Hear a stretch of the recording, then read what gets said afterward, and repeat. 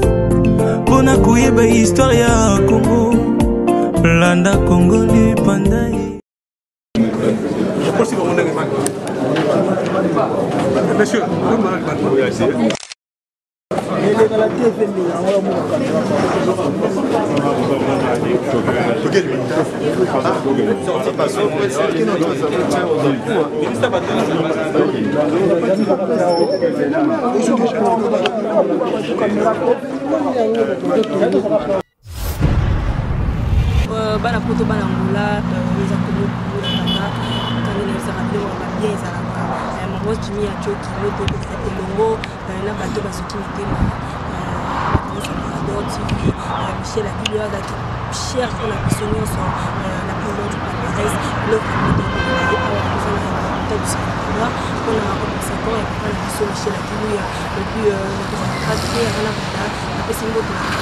ngai okela oyo biso na image ya solo euh, jojo bambote na ye ebele esas bie euh, bato nyonso basalaka na kongo libanda wana moni mpona golf edingwe epi yanix topira sans oublie mosika solution avec émission bato lelo mpo toyei kolinga te kokamona mpasi na bato bazolela vraiment eza likambo ya mpasi esengo te euh, ye moko apesaka mpe moko azwi azweli biso la plume donc palmarès michel adinu ya mpasi mingi na motema vraimen tozoki makasi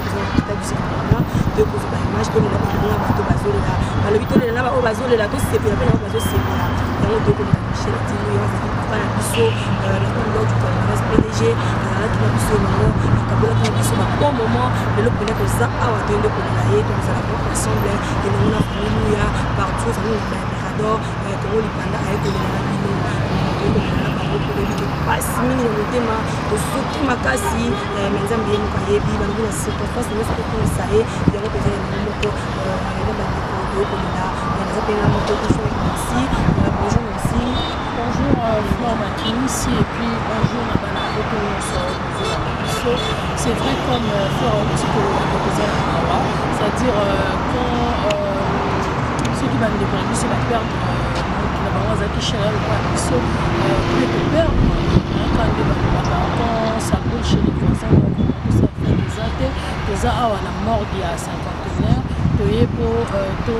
assiste na leve ya corps ya michel ladiluya totala ndenge tokomema corps na biso ti tokende yango na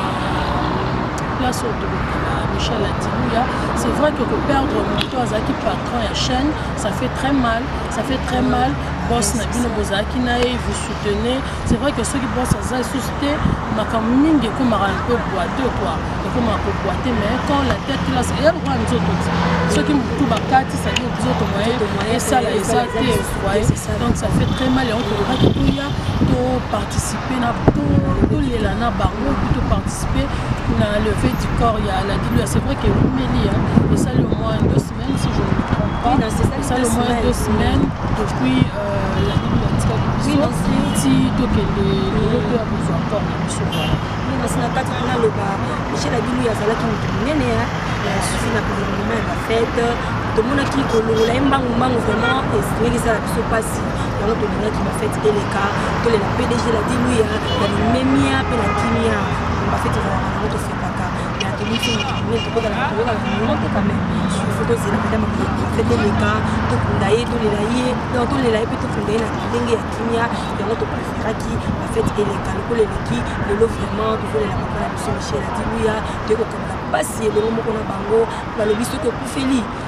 baoyo bakufela bayebi ndenge esalaka esalaka mpasi mingi na motema yango vrima tondimaki tokabola mawa wana elongo na vrima mobimba ya michel adibuya mwasi na ye bana na ye libota na ye mobimba baza na mpasi ya koleka ndenge tokufeli bana poto oyo eza mboka na bino oyo boza awa bino bato boza na poto bazeroise nyonso bakinoise nyonso boza na poto botala vrima tokumisi moto ya monene moto ya monene ntango tolobi moto ya monene aza monene il était trop choix pour nous yango vrima lelo toza ensemble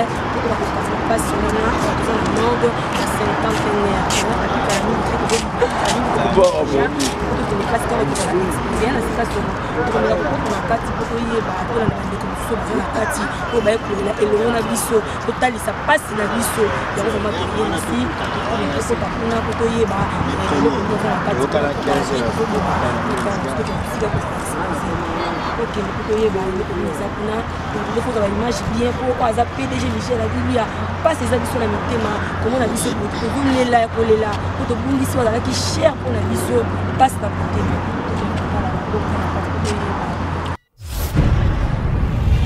Voilà, bana poto bana monde entier awa toza na morgue ya cinquantenaire car nde toyebisaki bino alors Tokoti mais eloko eza deplorable eloko esali biso pasi makasi bana poto c'est vrai la dilu yazaki mutu moko munene na mboka au Congo mais to comprendre te toye o oh, cercueil ekoki te o oh, veste eza mukie ba chaussettes kute ko tozo comprendre te or azaki mutu munene na mboka au bana poto toyebi te toza pe na palmiche awa to lobela non sur euh, Liwa ya nani ya Ladi Luya oyo awuti kotika biso alors bonjour Palmiche. Bonjour ma cherie. Voilà tokuti yo awa na morgue ya cinquantenaire yebisa biso oye na kosala nini? Bon merci premièrement na pesi mbote na batu tout oyo bolanda biso et puis batu nionso tout bolingaka Palmiche Ayaki la fille au beaux yeux toujours na na emission na nga savoir plus mais naza pembeni ya ba ndeko na nga oui yaya merci pona question soki naye eza parce que Tout le monde biso tout toyebaki pdg Michel la diluya preuve en est que nga kutu na leka dejà emission na mirador eh na mona dejà vieux vieux pa solola pe bien mais toye na cadre que toza ba chroniqueuse toye kozua ba image mais chose grave toyaki banda euh, neuf heures toyaki banda neuf heures ti sikoyo nde totelema na ba moyo na nde to toki na nde ba maquillage esili biso nde tosali donc e corps ebimi te corps ebimi te et puis leur corps ebima mpo nga mpe naye na caméra na ngai leur corps ozo bima il faut mona siko nde bato baloba non kata caméra kata caméra oto oh, kata caméra mpo nde to kata caméra parce que euh, euh, cercueil eza mokie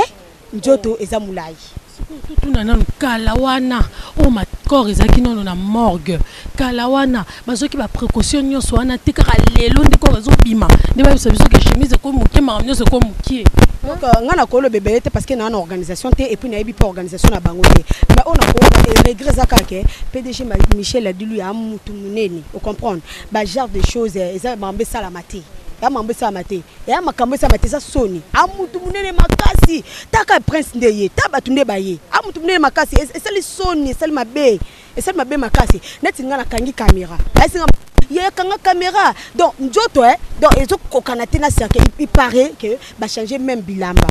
Imagine ba changer même bilamba. Donc ya mamba soni eza na niveau na ye te. Eh, poso makambo wana nyoso te feki bazwa ba mesure ata ba lobi. Bayebi da elamba dino kolata. te chose grave toyebi ke ozala na martyr yasu na martyr te ya na martyr désolé voilà makinisi question par rapport ya maladilu yao toyei kokota awa sikona na poto michel adilu azalaki moto monene asalisaki bato ebele me kokamwa koye esika boye cercueil ezokoka te nakuta ya mosusu alobi yo chaussette mukie veste eza mukie palmiche yebisa ngai vraiment michel lelule ndenge asunga bato asalisa bato oyo eza sabotage te et puis ngai tant na tie micro na ngai na bato bato bazoyebisa ngai ke eh, ba regrette trop mpo na ba comédien me bamisien bamisien mosusu mpe boye te mais pourtant bobengaki vie na bino aida bino mpe ebele akabela mpe bino ebele bon balobi bacomédien basiliki pareil ke eh, soki alekisa bafilme nigeria mais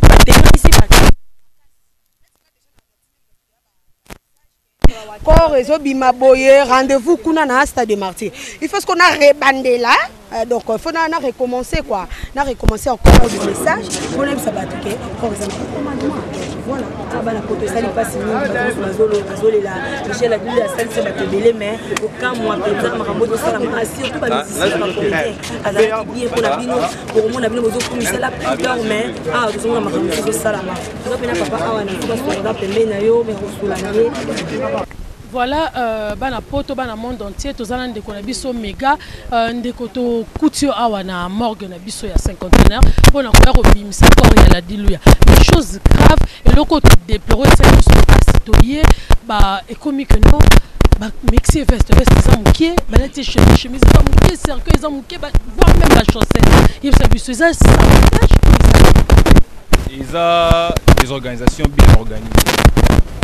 bana des organisations bien organisées bien structurées comment est-ce que moto monene grand homme un grand nom la presse congolaise na congo comme pdg michel balingi lokola mo soki en parlant de, en parlant de des organisations eza na kote ya banani kote ya bato oyo basengelaki kosala organisation to yebisa biso na explique ye ewelisi matanga Vieux Chaka Kongo abaki abima moto gashi azwa matanga o en charge a s'organiser nango po toyebi rarement expert na makambo oyo babotoli Kongo oyo obo famille zwi depuis toye 8 heures ngai a 8 heures tokoti ni famille ngai ki libosa famille ti 15 heures yango tokenda nanu bazwi solution te moto munene oka vieux ba changer chemise deux fois chemise ya moke bake bazoka chemise mosusu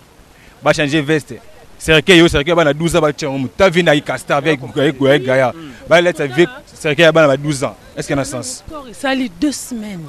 siko ah, tozo comprendre na poto tozo comprendre eza ni le 14 décembre ti le 6 le 6 janvier hmm. ta 12 to ke ba un mois bazwa baprécaution nini mpo na cercueil mpo na place ya kokunda place ya kolela ye babi na stade de martyr toyebi bongo na stade mati kuna mati ebemba maître mo bwezana maître mo judo ebe pardon ya na sisa ebe mo maître judo kamo ezana ebe me mususu ezana petit mo boso nani ba te vie pena place soins na sens et comme so na au commandement au commandement place on peut paraître mukie na mune na vie place on peut paraître mukie sikoyo place wa bana poto eh, toyebi place wana eza mokie makasi sikoyo tozo comprendre te qu'est ce qui se passe au juste ndeko oza na liloba obakisa par rapport ya makambo nde ezoleka voilà merci pour la parole concert omoni eloko ngai na observe eza nini enguma eza te ladilu oyo azali patron ya mirador fm na télévision patron ya le palmarès patron ya visan 2000 azali collègue ya baprésident ya bachaîne nyonso to ya congo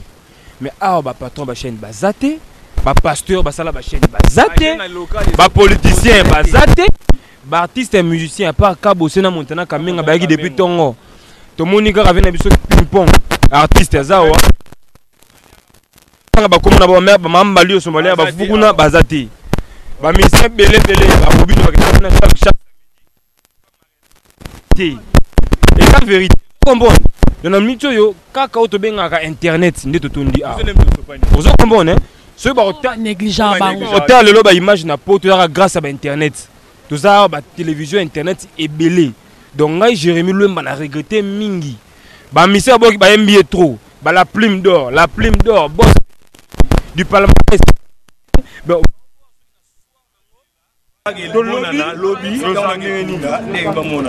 toyebi mpe ke bien son vivant azalaki mpe na barancune na bato barancune avec quelques artistes kaka mais bato nyonso tout te ozo kombo abetisaka miziki ne ofele na bazalaka na tv na ye miziki bango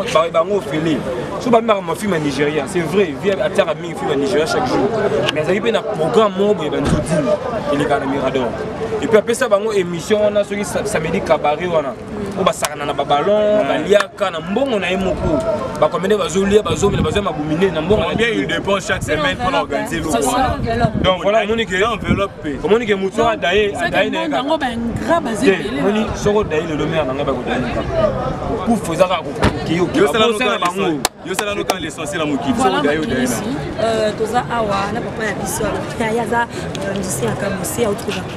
instrumentaliste euh, instrumentaliste oui aza na biso ya kabosie epuis euh, ye mpe aza na baregret ya kokoma yango ezobana bonjour papa aja lofombo euh, namoni biso atotelemi vraiment matanga michel akiluya oyo azalaki moto monene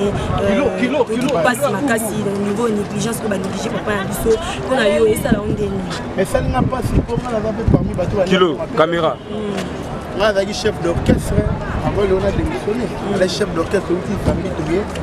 azalaki poto nazo kandola abenga ngai yaka na badanse mm. soki obini na samedi shok wana elekako mariana basalaka na mm. gedeon suka pdg mo apesaka enveloppe mm. ngai daya nazwa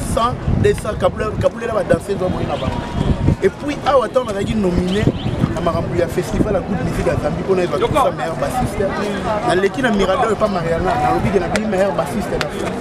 kosoutenir nga baningi na pied numero ya contact pdg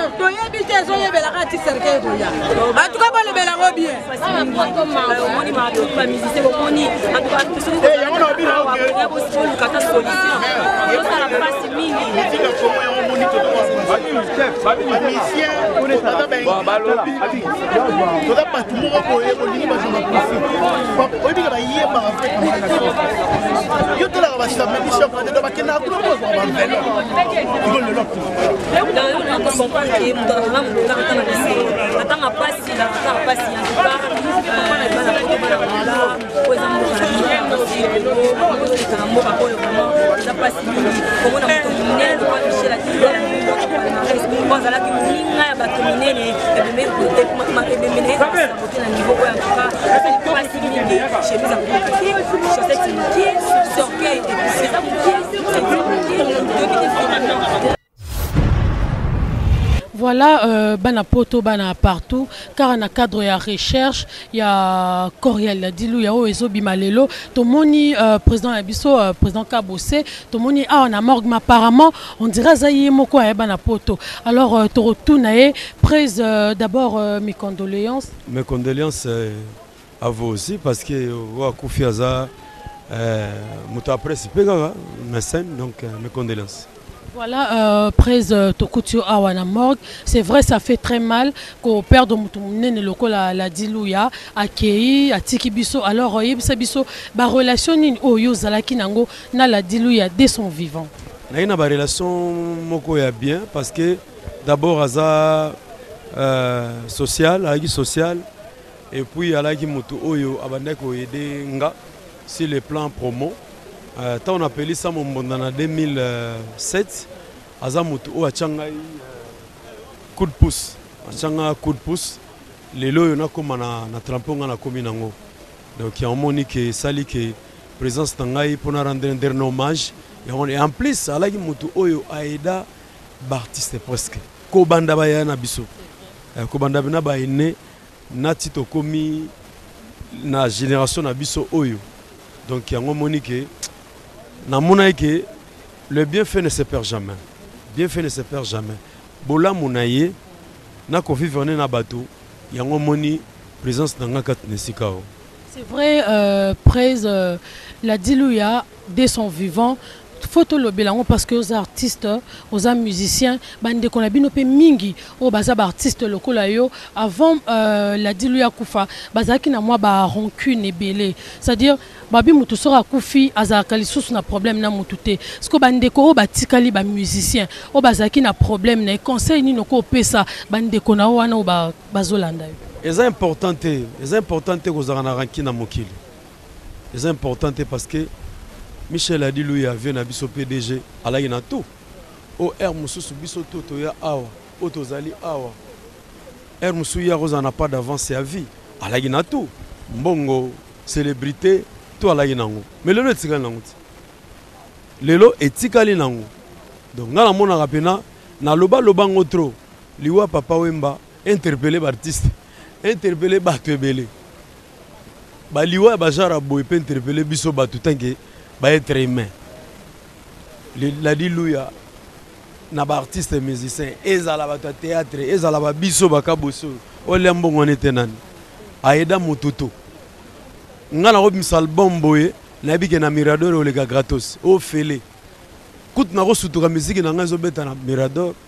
oyo ere mosusu napesela yango enkate na oyeba te oyo ekomi kuna ndeni me esi azwaki yango po alingaki nga et puis chaque week-end il m'appelait tout le temps au telephone kabose tindela nga ba danseuse ba obina na rate pas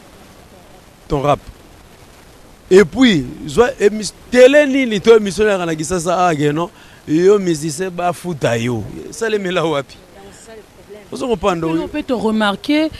présence ya bato banda koya on dirait balinga euh, la dilu ya na profit parce que yaka kufi en tout cas eza mwa passe tomoni mingi te hein. baza mingi te baza ya ko compter presque Ça c'est du congolais ma sœur, ça c'est du congolais. Congolais na ogo ande ngona. Sola ki kon mo akufi olingo mona banzembo na batele edeleka. Bazo yemba ah, ngai boye ozalaki boye. Ba yembela ngona ba TV na banzembo. Mais lelo vieux akufi est-ce que bana boulwana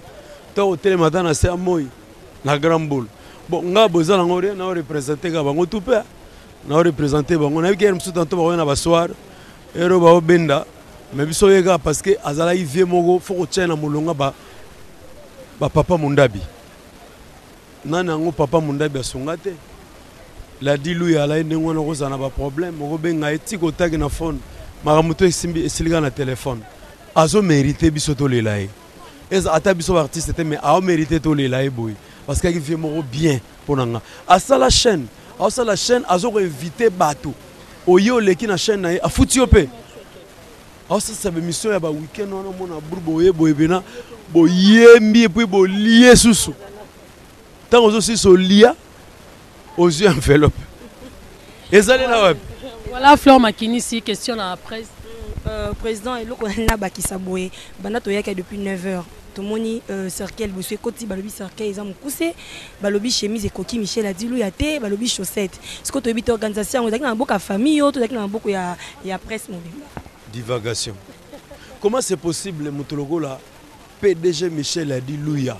akufi oyo tokee déjà un mois Pourquoi bazuaki initiative wana te depuis kala? Pdg la diluer aza na bilamba ebele ti ba ndeko naye bale bayebi taille naye. Comment bako zua idee te que non taille naye ezalaka boye boye? Ba misombela. Comment bako zua likanisi te que non te cercueil taille naye eza boye? To mizuila. Comment ba mi mekelaki pe te avant biso to ko bimisa ye? Mais famille balobi que il parait te mbongo ya Michel la diluer ezalaki kaka ya ba artistes, ezalaki ya famille te, asunga famille te. Yango basali tricage oyo. Ah mais mutu ma sœur so mutu akufi akufi hein. Ye asali vie oyo ya ye hein. Eza te ke po mutu so ano soutenir ba, ba, ba, ba artiste bino ba, ba, ba, ba famille botomboka famille ya lara ndenge wana bino botomboka bo negliger non parce que so bo triquer bo ata yo triquer pe odayeka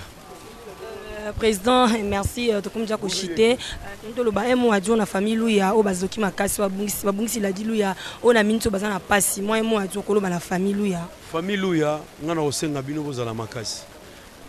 papa atiki héritage ya mirador mirador eza na batravailleur vraiment bosala de sorte que bozala na rigueur na discipline na determination oyo pdg Ladi Luya azalaki na yango, ekosala bien mpo na ko entretenir Mirador ekufa te. Mirador ezala mpo biso bakabos oyo kala te naobimisa bi carre fol nabimisa soye prudent donc nde nabimisa boye ekosenga eleka na Mirador siko ntango pdg azalaki en vie azalaka di petit tika kuna ebanda obeta Sikoyo nalingi pe ezala bongo chaine na biso ezala ata ko tana ofuta mais chaine yango to revaka yango to mona yango voila. Conseil nini opesa na ba artistes oyo ba sabote vraiment matanga Michel a diluya ba oyo baliaka na ye ba melaka na ye ba oyo bazwaka mua eloko pona na bolamu na ye eloko nini oko yebisa bango comme conseil nini oko pesa bango ba oyo ba monani awa te ba oyo ba sabote ye conseil nini oko pesa bango? En tout cas meme nga pe ezo lekela nga. na ye pena awa na morgue en tout cas nakuti ndenge nalingelaki ya nakaniselaki ezala me namoni yango te salinga mpe mpasi me matanga bapesaka moto invitation te en plus matanga bapesa invitation eke toyeke matanga te yaka matanga te eza motema nde na ntango ya mpasi toyebaka Bayebaka ba ba ndeko bato ya malamu na tango ya pasi bon yo oliaki mbongo ya ladiluya otikali na ndako bon likambo te eza nango problème te biso ba kabose toye parce que nga nalia mbongo na ye akabela nga trop pe apart wana ayedanga na promotion mama kimanda kwe akotaki mario e papa sundola bana Alanda elengi ya mfumbwa zagala yuyuyuyuyu zagala eeh pdg alela yango fort eeh chaque week-end aloba dit botia zagala ezanga te na programme na biloko aboma eeh biloko aboma binaguna biloko aboma ozo comprendre ebanda obeta sikoyo moto ya ndenge wana vraiment Yango ba te mwa dimi tentula naza nango vomi esila kaka na moi non ore ka eh non ore vie na biso yango mona ye kaka awa naye kutu na kati kuna ngai bi ah bon te bo avida te depuis 9 heures ozalaki awa naye biso tala bolingo bana poto bozomona bolingo biso makolo do na boye donc naye biso do na mokate ebeti nga mais choix eza te do napembi kaka mpo non ore vie na nga mpo fie alayibi na soko otomboli combo presi nga pla fo ebeta na mirador bosava leka na biro Talaka moto ya ndenge wana to tala du parti du cote bien mabe tse yango na ye awa vraiment en tout cas bato basali ke non cercueil ekoti to bima bo yango te ah esali pasi mais likambo te heureusement babaki zwa mosusu na bike mbalo bena tozo kende bayimba lope nde kosimba bayimba lope nda nyonso ekokoka nasika songo tosisi na président nayebi te soko kozala mwana mo adure mpo ngai nasi nasisi na président salobi nyonso soki okokoclotire na non non tozozela kaka accord na biso ebima comme euh, presa auti oloba sadi ya tour oyo cercueil ekoka toboyi na biso tozela soso bake esuki ochange te yango tozo vraiment c'est-à-dire na ceinture j'espère que bozwi mpo toboyi ekoma oyo tozela lisusu mpo prese abi wana voilà bala poto tozokutana tout à l'heure mpo tomona corps na biso ndenge ebima voilà